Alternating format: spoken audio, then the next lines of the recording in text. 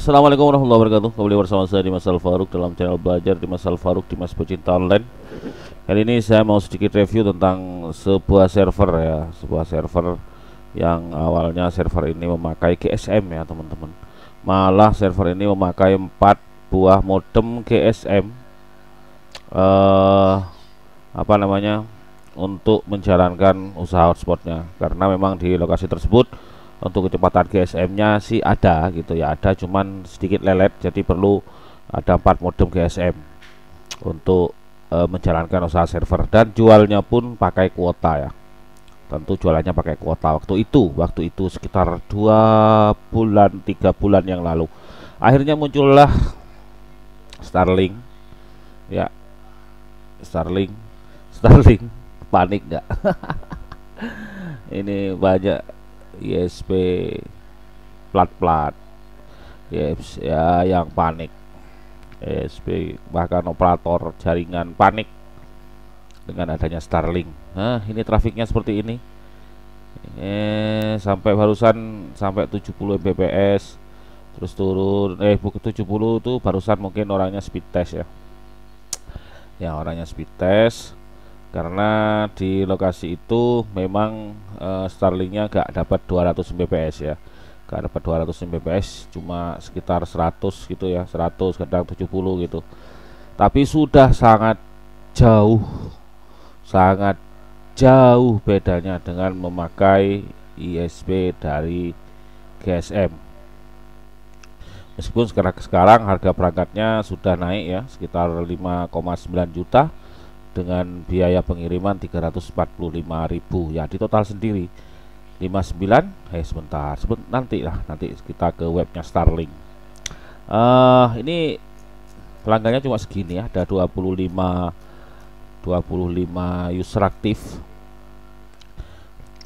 dengan limit 2 Mbps. Ya dengan limit 2 Mbps ada 25 user aktif ini karena jualnya sistem kuota ya. Ini jualnya masih sistem kuota. Ya jualnya masih sistem kuota dan e, mereka itu tidak mau dinaikkan. Katanya lebih boros. Ya jelas lah. E, misalkan dinaikkan 5 Mbps itu kan dengan kuota misalkan 5 giga itu kan jelas lebih boros daripada yang 2, 2 Mbps seperti ini. Yang pelanggannya sendiri katanya ini yang minta. Kenapa kan? Kenapa saya bilang katanya? Karena ini bukan server saya gitu ya jadi ini salah satu server yang saya setting dari awal ya, ketika masih pakai GSM dan ini sekarang sudah memakai Starlink. Harga jualnya nah dia juga jual unlimited 1 giga eh satu hari unlimited nggak tahu jualnya berapa ya. Oh 15.000 satu hari 15.000 unlimited satu giga lima hari. Ini katanya yang paling laku ya. Yang paling laku yang ini. Satu giga lima hari. Uh, dan 12 giga 30 hari. Jualnya 100 ribu. 100 ribu. 12 giga 30 hari. Dan ada yang 30 hari unlimited entah jual berapa dia jual 200.000 oke sebentar ini kok ada ini buat sendiri kayaknya. Oke ini masih jual Oh berarti admin gak di limit berarti barusan dia speed test kayaknya. Ya dapat 75 itulah. Ini sistemnya pakai apa namanya pakai LAN yang ini ya pakai LAN nih. Soalnya ada berapa server juga yang uh, dari mikrotik itu eh dari Starlink itu dia ditangkap oleh router. Yang enak itu ditangkap pakai router 5 GHz nya jadi sinyal dari Starlink itu uh, kan dia Starlink itu kan modem juga anggaplah modem ya bukan modem sih. Dia router dianya. Ya setahu saya ya. Uh, dia nggak beli LAN adapter dari Starlink karena LAN, LAN adapternya itu kan 1,5 juta. Tapi ada yang ditangkap pakai router gitu router 5 GHz yang tentunya speednya lebih stabil dan lebih tinggi daripada 2,4 2,4 GHz ya.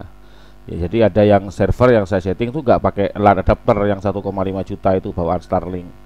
E, maksudnya adapter bukan bawaan sih dia beli lagi ya. Termasuk aksesoris kalau Starlink kalau belinya itu kan cuma dapat perangkat itu aja perangkat e, perangkap sinyalnya sinyal satelit dan routernya itu gitu ya. Jadi kalau mau pakai LAN ke mikrotik harus beli LAN adapter 1,5 juta begitu ya harganya. Belinya terpisah. Uh, ini sudah menyala mikrotik ini sudah menyala sekitar uh, berapa ya uptime? 6 hari dan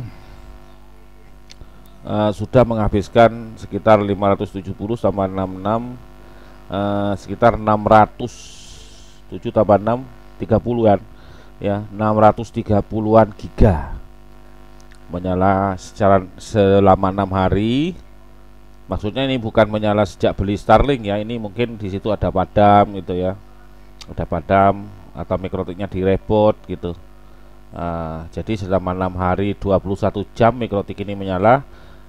Si mikrotiknya tentunya dan si Starlinknya juga sudah mendistribusikan sekitar 630 gigabit bayangkan kalau beli kuota 100 giga aja berapa gitu ya. Apalagi 600 ini sudah enam hari.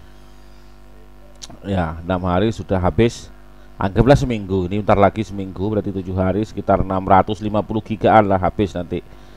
Nah, kali sebulan kali 4 jadi ada sekitar 2,4 uh, TB yang akan dihabiskan. Ya. Ya ada sekitar 2,4 TB ada sekitar 2400 giga. Bayangkan kalau pakai uh, GSM ah, carilah tarif termurahnya berapa gitu intinya dengan adanya Starlink ketar ketir panik nggak? Oke kita ke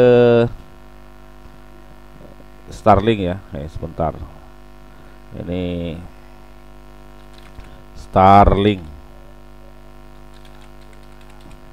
Kemarin kan ada promo ya. Kemarin ada promo. Ya ada promo harganya mas cuma 4,7 jutaan apa gitu ya. Sekarang harganya sudah 0,59 juta. E, biaya layanannya adalah 750.000 per bulan. 5,9 juta ini ditambah pengiriman sekitar 345.000 anggaplah 350 gitu 345 sebenarnya. Itu tarifnya flat ke seluruh Indonesia. Jadi 59 tambah 345 jadi 6 juta 245 ribu. Belum termasuk biaya bulanan layanan.